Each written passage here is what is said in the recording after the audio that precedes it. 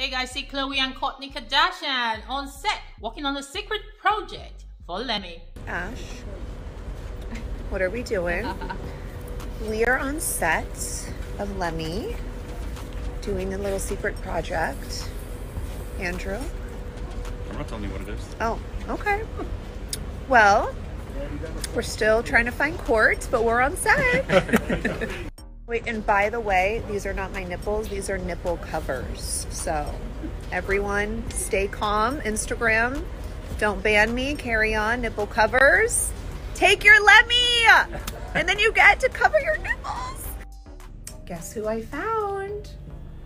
It's me. You found me. Todd Grace. Todd Cranes. It's me, Todd Cranes.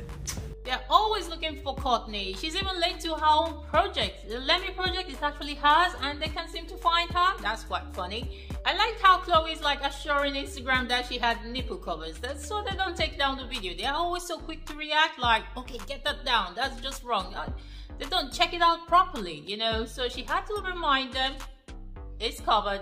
But guys, let me know your thoughts about it in the comment section below. And before you go, don't forget, like, share, subscribe, hit the bell icon, and I'll see you for my next video.